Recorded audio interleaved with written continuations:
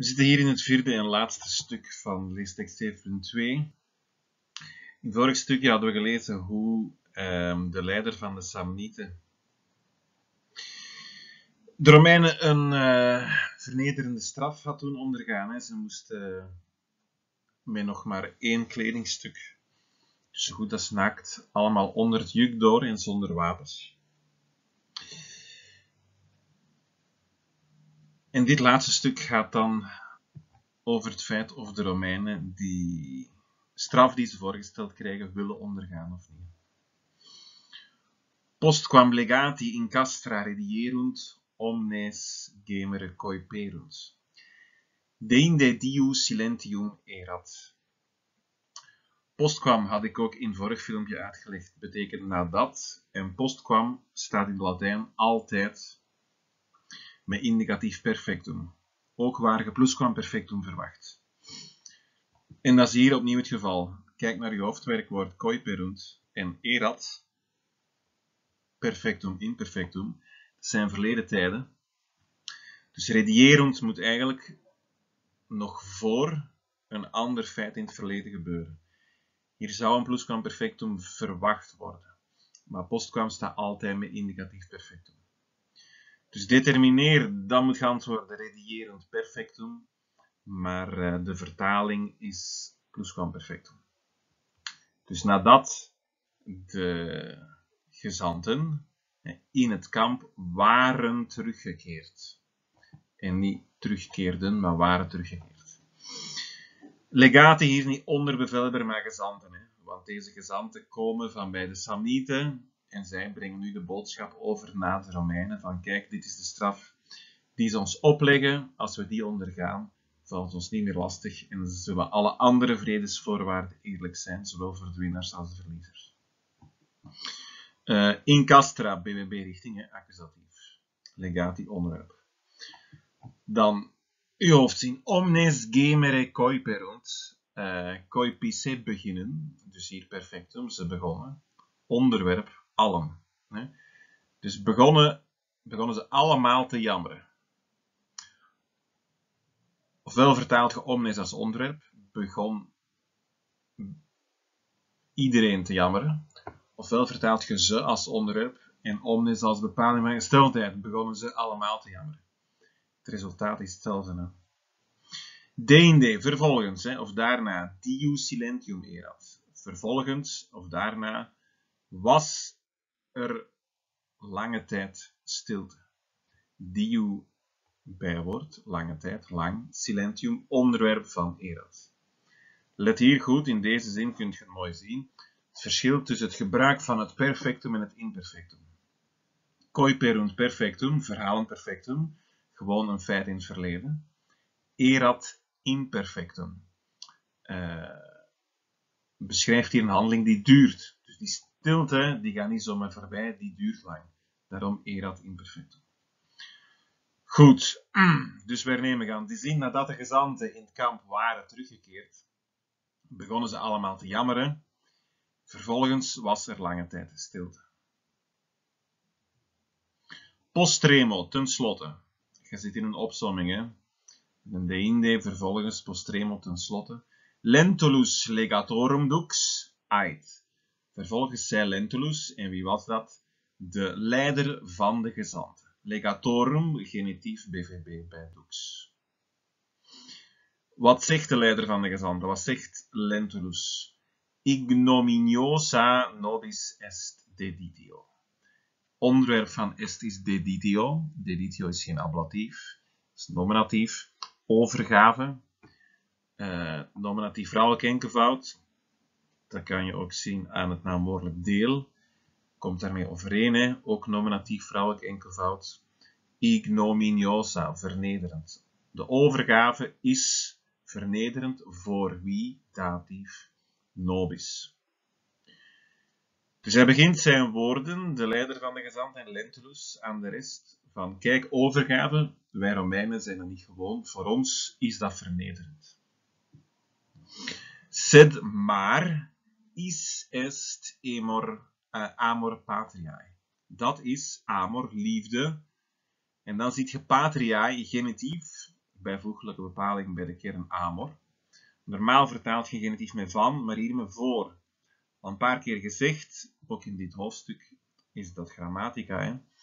Hè? Um, bij kernen, bij substantieven waar je een werkwoord ook in herkent. Hè? Amor, liefde, amare, uh, liefhebben.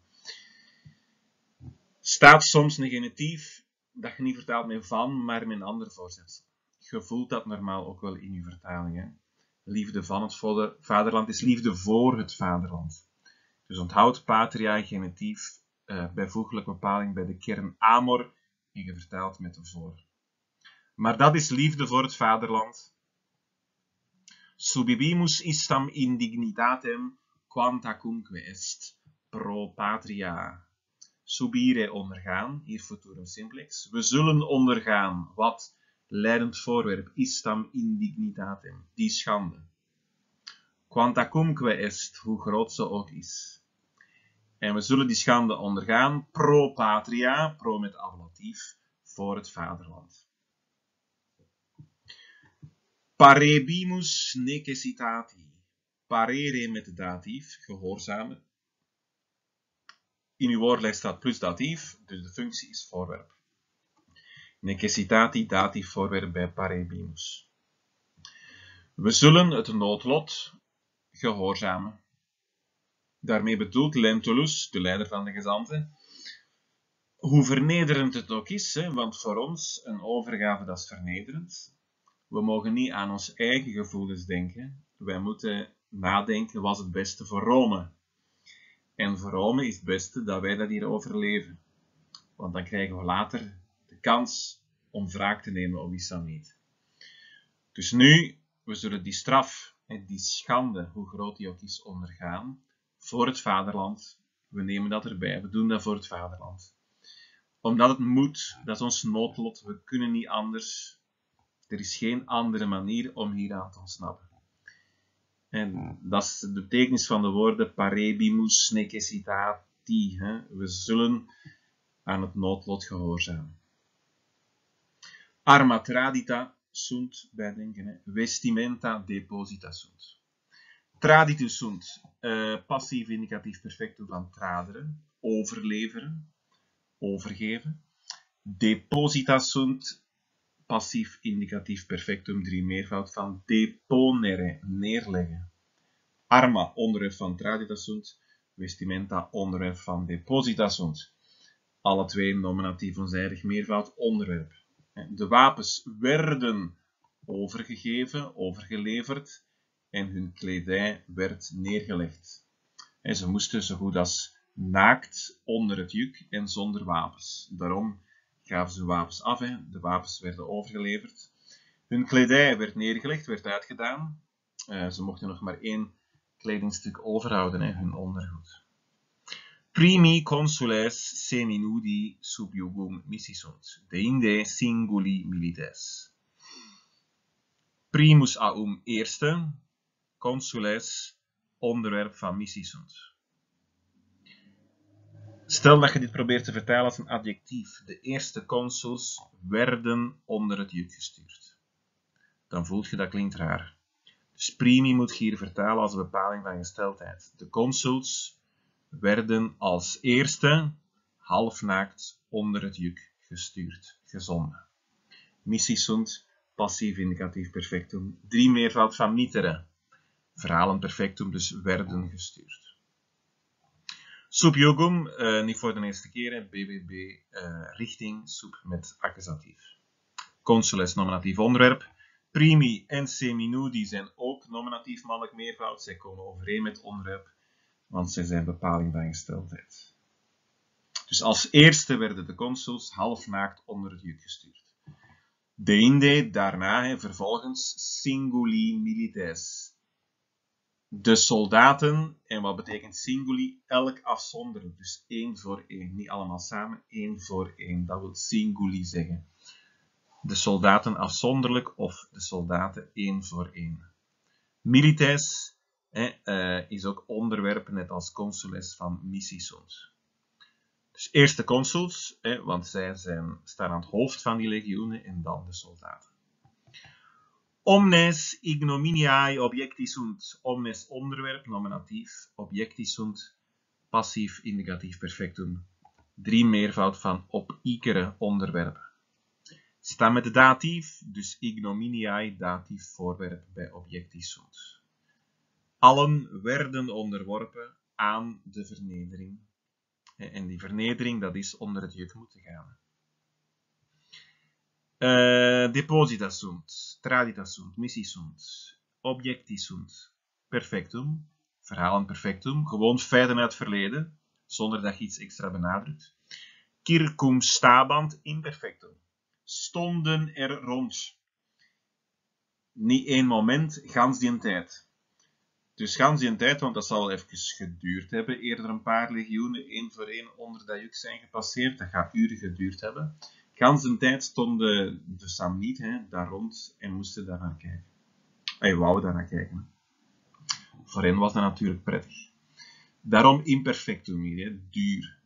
Stonden er rond wie Ostes, de vijand. Armatus aum gewapend. De gewapende vijanden stonden er rond. Of je mocht armaat hier ook als bepaling van gesteldheid vertalen. De vijand stond er gewapend rond. Bij Ostes staat er nog een participium praesens, eludentes. Met als leidend voorwerp Romanos. Eludere, o, bespotten. Leidend voorwerp Romanos. Dus Ostes, nominatief mannelijk meervoud, onderwerp van Circum Statant. Romanos, accusatief, leidend voorwerp van eludentes. Hoe vertalen dit participium praesens? Als een bijzin bij Ostes. Stel dat je haakjes zet hier en hier. De uitgang ES, een kronkellijntje en dan een pijl naar Ostes. Uh, dus de vijanden stonden er gewapend rond, terwijl ze de Romeinen uitlachten. Bij participium, net als bij de A plus I, wil praesens zeggen gelijktijdig, dus vertaal in dezelfde tijd als je hoofdwerkwoord. Stonden er rond, uh, uitlachten. Hier is misschien best uw participium praesens te vertalen als een bijwoordelijke wijze. Terwijl, het zou kunnen met die, de vijand stond er gewapend rond, de vijand die de Romeinen uitlachte. Uh, terwijl is hier wel beter, hè? terwijl ze met de Romeinen lachten. Terwijl ze de Romeinen uitlachten. Het is bijzonder vernederend, hè? onder de ogen van uw vijand, hè, dat er rond staat met wapens moet gij zonder wapens onder het juk. Nu, in het slot kunt je ook wel lezen dat de Romeinen nadien hun wraak genomen hebben. En vijf jaar later verslaan ze de Samnieten wel. En dan beginnen ze ook met de beroemde weg aan te leggen, Via Appia, zodat ze vlotter op bepaalde bestemmingen kunnen arriveren. Hè. Die oorlogen tegen de Samnieten, die hebben wel even geduurd. Hè. Die zijn eigenlijk pas gestopt hier in 290 voor Christus, wanneer er tussen de Romeinen en de Samnieten een definitieve vredesovereenkomst gesloten werd. Goed, dat voor dit laatste stukje. Ook hier ziet je nog eens de oplossingen. Uh, bij het laatste stuk Bekijk dan nog eens rustig en ook de vertaling, en voor wie nog niet alles had. En daarmee is deze tekst 7.2 grondig gezien.